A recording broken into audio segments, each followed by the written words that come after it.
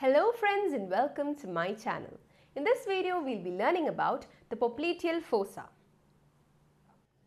To begin with, the popliteal fossa is a diamond shaped depression lying behind the knee joint, the lower part of the femur and the upper part of the tibia right here and right here. Now this is a posterior superficial view of the right lower limb. Let's learn about the boundaries of the popliteal fossa. Now this is the medial aspect that is towards the midline of the body and this is the lateral aspect that is away from the midline of the body. Now supralaterally that is superiorly and laterally the popliteal fossa is bounded by the biceps femoris muscle that you see right here.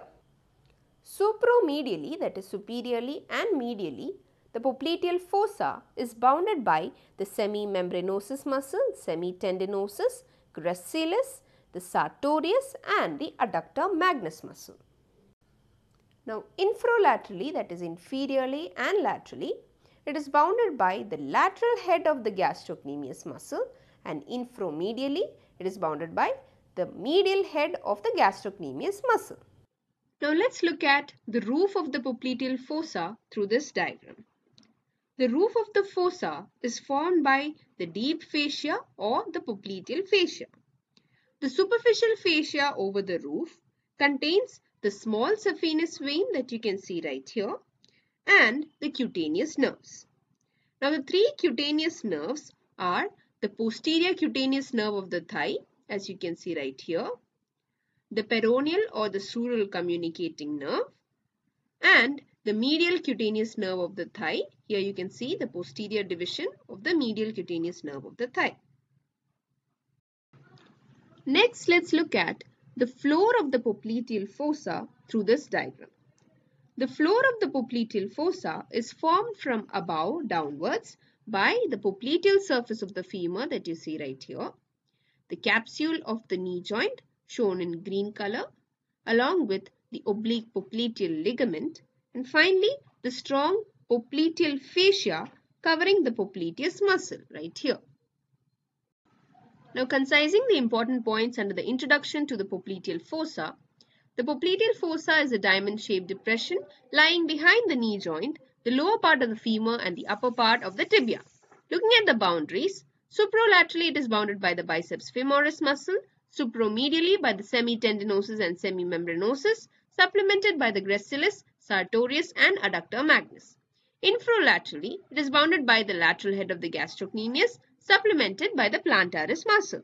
Inframedially, it is bounded by the medial head of the gastrocnemius. Now, looking at the roof of the fossa, it is formed by the deep fascia or the popliteal fascia. The superficial fascia over the roof contains the small saphenous vein and cutaneous nerves and the three cutaneous nerves, namely the posterior cutaneous nerve of the thigh, medial cutaneous nerve of the thigh and the peroneal or the sural communicating nerve. The floor of the popliteal fossa is formed from above downwards by the popliteal surface of the femur, the capsule of the knee joint and the oblique popliteal ligament and the strong popliteal fascia covering the popliteus muscle. Now let's look at the contents of the popliteal fossa. So what can be the major contents? There can be arteries, veins, nerves, fat and lymph nodes. So let's look at each of them in detail. First there is the popliteal artery that you see in red along with its branches. Then there's the popliteal vein in blue, the tibial nerve, the common peroneal nerve that you see right here, the posterior cutaneous nerve of the thigh that cannot be seen in this diagram, the genicular branch of obturator nerve, the popliteal lymph nodes and finally fat. The popliteal vessels and the tibial nerve cross the fossa vertically and are arranged one over the other. The tibial nerve in yellow is the most superficial. The popliteal vein in blue lies deep or anterior to the tibial nerve. The popliteal artery is the deepest of them all. Now the artery is crossed posteriorly by the vein and the nerve. Now the relative position of these structures is as follows. In the upper part from medial to lateral side we can see the artery, the vein and the nerve. So in relation to the position of the femur, the tibia and the fibula, you can see here that this is the medial side that is towards the midline of the body and this is the lateral side that is away from the midline of the body. So in the upper part, we have the artery, vein and nerve from the medial to the lateral side. In the middle part, from behind to forwards, there is the nerve, the vein and the artery. Similarly, in the lower part, from medial to lateral side, there is the nerve, the vein and the artery. Now the common peroneal nerve that you see right here crosses the fossa obliquely from the superior angle to the lateral angle along the medial border of the biceps femoris muscle. Concising the important points under the contents of the popliteal fossa, we have the popliteal artery and its branches, the popliteal vein and its tributaries, tibial nerve and its branches, the common peroneal nerve and its branches, the posterior cutaneous nerve of the thigh, genicular branch of obturator nerve, the popliteal lymph nodes and fat. The popliteal vessels and tibial nerve cross the fossa vertically and are arranged one over the other. The tibial nerve is most superficial Popliteal vein lies deep or anterior to tibial nerve. The popliteal artery is deepest of all. The artery is crossed posteriorly by the vein and by the nerve. The relative position of these three structures is as follows. In the upper part, from medial to lateral side, there is the artery, vein and nerve. In the middle part, from behind to forwards, there is nerve, vein and artery. And the lower part, from medial to lateral side, there is the nerve, vein and artery. The common peroneal nerve crosses the fossa obliquely from the superior angle to the lateral angle along the medial border of the biceps femoris muscle. Next, let's learn about the popliteal artery. The popliteal artery is a continuation of the femoral artery. It begins at the opening in the adductor magnus or hiatus magnus that you see right here. That is at the junction of the middle one-third of the thigh with the lower one-third of the thigh. It runs downwards and slightly laterally, that is away from the midline of the body.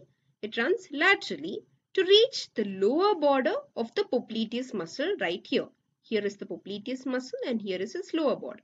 So it reaches till here and then it terminates at the lower border of the popliteus by dividing into anterior tibial artery and posterior tibial arteries. Now let's look at the relations of the popliteal artery. The popliteal artery is the deepest structure in the popliteal fossa as we had learned earlier. Anterior or deep to the artery, from above downwards, there is the popliteal surface of the femur, the back of the knee joint, and the fascia covering the popliteus muscle. Now posteriorly or superficially, the popliteal artery is related to the tibial nerve. Laterally, that is away from the body, it is related to the biceps femoris muscle and the lateral condyle of the femur in the upper part and plantaris muscle as well as the lateral head of the gastrocnemius muscle in the lower part. To give you a more clear picture of the lateral relations of the popliteal artery, you can see the popliteal artery right here. And laterally, you can see the biceps femoris muscle right here. And the lateral condyle of the femur in the upper part. The plantaris muscle right here. And the lateral head of the gastrocnemius muscle in the lower part. Now medially, the popliteal artery is related to the semimembranosus muscle and the medial condyle of the femur in the upper part and the medial head of the gastrocnemius muscle in the lower part. Looking at the medial relations of the popliteal artery more clearly in this diagram, you can see the semimembranosus muscle right here in the upper part and the medial head of the gastrocnemius in the lower part. Now, before we learn about the branches of the popliteal artery, let's concise the important points under the introduction and relations of the popliteal artery. The popliteal artery is a continuation of the femoral artery. It begins at the opening in the adductor magnus or hiatus magnus, that is at the junction of the middle one-third with the lower one-third of the thigh. It runs downwards and slightly laterally to reach the lower border of the popliteus. It terminates at the lower border of the popliteus by dividing into anterior and posterior tibial arteries. Looking at the relations, the popliteal artery is the deepest structure in the popliteal fossa. Anterior or deep to the artery, from above downwards, there are the popliteal surface of the femur, the back of the knee joint, the fascia covering the popliteus muscle. Posterior or superficially, it is related to the tibial nerve. Laterally, it is related to the biceps femoris and the lateral condyle of the femur in the upper part, the plantaris muscle and the lateral head of the gastrocnemius in the lower part. Medially, it is related to the semimembranosus and the medial condyle of the femur in the upper part and the medial head of the gastrocnemius in the lower part. Now let's learn about the branches of the popliteal artery. Several muscular branches are given off from the popliteal artery. The upper two or three muscular branches supply the adductor magnus muscle and the hamstrings. The lower branches supply gastrocnemius, soleus and plantaris muscles. Now the cutaneous branches arise directly from the popliteal artery or indirectly from its muscular branches. Now let's look at the genicular branches of the popliteal artery. The genicular branches are five in number two superior genicular branches, one middle genicular branch and two inferior genicular branches.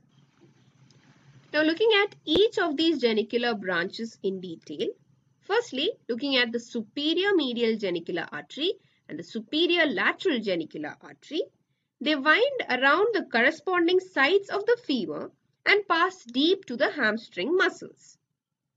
Looking at the middle genicular artery right here. It pierces the oblique popliteal ligament of the knee and supplies the cruciate ligaments and synovial membrane of the knee joint. Looking at the medial and lateral inferior genicular arteries, they wind around the corresponding tibial condyles and pass to the collateral ligaments of the knee. Now all these arteries reach in front of the knee and take part in forming the anastomosis around the knee joint. Finally, looking at the clinical anatomy of the popliteal artery, the blood pressure in the lower limb is recorded from the popliteal artery. The popliteal artery is more prone to aneurysm than many other arteries in the body. Concising the important points under the branches of the popliteal artery, several large muscular branches are given off the upper two or three muscular branches supply the adductor magnus and hamstrings and terminate by anastomosing with the fourth perforating artery. The lower muscular branches supply the gastrocnemius muscle, the soleus and the plantar. Cutaneous branches rise directly from the popliteal artery or indirectly from its muscular branches.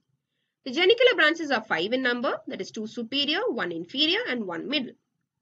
The middle genicular artery pierces the oblique popliteal ligament of the knee and supplies the cruciate ligaments and the synovial membrane of the knee joint. The medial and lateral superior genicular arteries wind around the corresponding sides of the femur and pass deep into the hamstrings. The medial and lateral inferior genicular arteries wind around the corresponding tibial condyles and pass to the collateral ligaments of the knee. All these arteries reach the front of the knee and take part in forming the anastomosis around the knee joint looking at the clinical anatomy of the popliteal artery. The blood pressure in the lower limb is recorded from the popliteal artery. The popliteal artery is more prone to aneurysm than many other arteries in the body. Now let's learn about the popliteal vein. It begins at the lower border of the popliteus muscle. It is medial to the popliteal artery in the lower part of the fossa as you can see right here. It is posterior to the artery in the middle and posterolateral to the artery in the upper part of the fossa. The popliteal vein receives the small saphenous vein and the corresponding veins of the branches of the popliteal artery.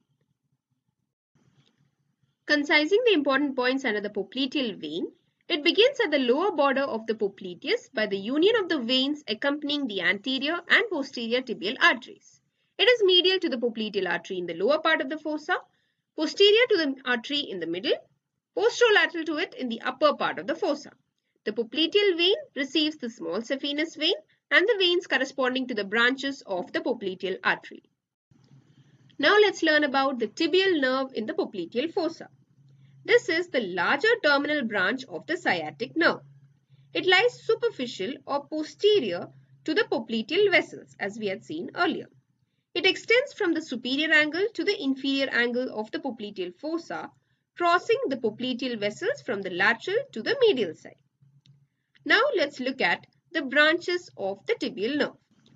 We have three genicular or articular branches, one cutaneous nerve and a few muscular branches. Now let's look at each of it in detail. Firstly, we look at the three genicular or articular branches that arise in the upper part of the popliteal fossa. First, there is the superior medial genicular nerve that you see right here. It lies above the medial condyle of the femur, deep to the muscles. Secondly, there is the middle genicular nerve right here. It pierces the posterior part of the capsule of the knee joint to supply the structures in the intercondylar notch of the femur. Third, we have the inferior medial genicular nerve right here. It lies along the upper border of the popliteus muscle. Next, we have the cutaneous nerve, which is also called the sural nerve that you see right here. This is the sural nerve, which originates in the middle of the popliteal fossa and leaves at the inferior angle. It supplies the skin of the lower half of the back of the leg and whole of the lateral border of the foot till the tip of the toe. Finally, the muscular branches arise in the distal part of the fossa for the lateral and medial heads of the gastrocnemius. Here you can see the branch for the medial head of the gastrocnemius and here for the lateral head of the gastrocnemius. Then we have a branch for the soleus muscle, one for the plantaris muscle and one for the popliteus muscle. The medial head of the gastrocnemius, lateral head of the gastrocnemius one for the plantaris, soleus and popliteus muscle. Looking at the clinical anatomy of the tibial nerve, damage to the tibial nerve causes motor and sensory loss. Motor loss include superficial and deep muscles of the calf and the intrinsic muscles of the sole and sensory loss includes loss of sensation on the whole of the sole of the foot, the plantar aspect of the digits and nail beds on the dorsum of the foot. Concising the important points under the tibial nerve in the popliteal fossa, its root value is the ventral divisions of ventral rami of L4, L5, S1, S2 and S3. This is the larger terminal branch of the sciatic nerve.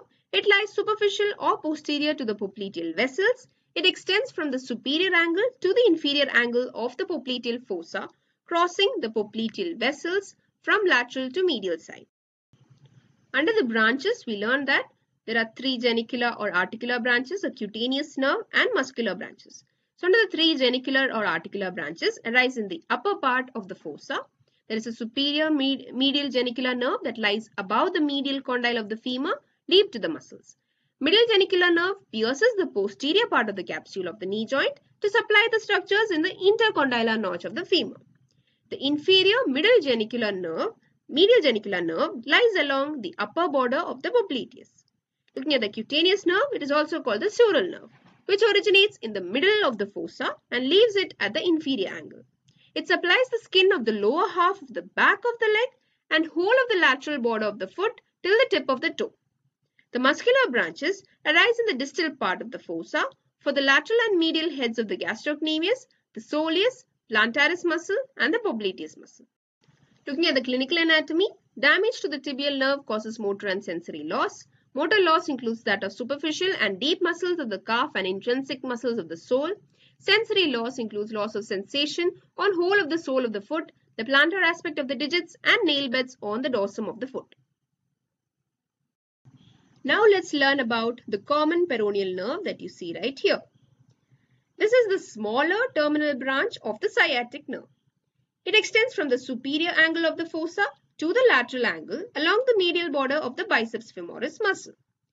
Continuing downwards and forwards, it winds around the posterolateral aspect of the neck of the fibula right here and pierces the peroneus longus muscle and divides into superficial and deep peroneal nerves. Now let's look at the branches of the common peroneal nerve. there are cutaneous branches and articular branches. First, let's look at the cutaneous branches. Cutaneous branches are two in number. First is the lateral cutaneous nerve of the calf right here. Second is the sural communicating nerve right here. So the lateral cutaneous nerve of the calf descends to supply the skin of the upper two-thirds of the lateral side of the leg. The sural communicating nerve right here arises in the upper part of the popliteal fossa. Looking at the articular branches, there are three in number. The superior lateral genicular nerve, the inferior lateral genicular nerve and the recurrent genicular nerve. The superior lateral genicular nerve accompanies with the superior lateral genicular artery and lies above the lateral condyle of the femur. The inferior lateral genicular nerve also runs with the artery of the same name, that is, the inferior lateral genicular artery, and lies to the lateral aspect of the knee joint above the head of the femur, as you can see right here. The recurrent genicular nerve arises where the common peroneal nerve divides into superficial and deep peroneal nerves. Concising the important points under the common peroneal nerve, root value is the dorsal divisions of the ventral rami of L4, L5, S1 and S2. So the root value is L4, L5, S1 and S2. Looking at the course, this is the smaller terminal branch of the sciatic nerve. It extends from the superior angle of the fossa to the lateral angle along the medial border of the biceps femoris. Continuing downwards and forwards, it winds round the posterolateral aspect of the neck of the fibula pierces the peroneus longus muscle and divides into superficial and deep peroneal nerves. Looking at the branches, there are the cutaneous branches which are two, the lateral cutaneous nerve and the sural communicating nerve. The lateral cutaneous nerve of the calf descends to supply the skin of the upper two-thirds of the lateral side of the leg. The sural communicating nerve arises in the upper part of the fossa. The articular branches include three. The superior lateral genicular nerve accompanies the artery of the same name and lies above the lateral femoral condyle. The inferior lateral genicular nerve also runs with the artery of the same name to the lateral aspect of the knee joint above the head of the fibula. The recurrent genicular nerve arises where the common peroneal nerve divides into superficial and deep peroneal nerves. Now let's look at the posterior cutaneous nerve of the thigh. It is a content of the upper half of the popliteal fossa. It pierces the deep fascia about the middle of the fossa and supplies the skin up to the middle of the back of the leg. Concising the important points under the posterior cutaneous nerve of the thigh, it is a content of the upper half of the popliteal fossa. It pierces the deep fascia about the middle of the fossa and supplies the skin up to the middle of the back of the leg. Now let's look at the genicular branch of the obturator nerve. This is the anterior aspect. This is the posterior aspect. So here is the posterior branch of the obturator nerve.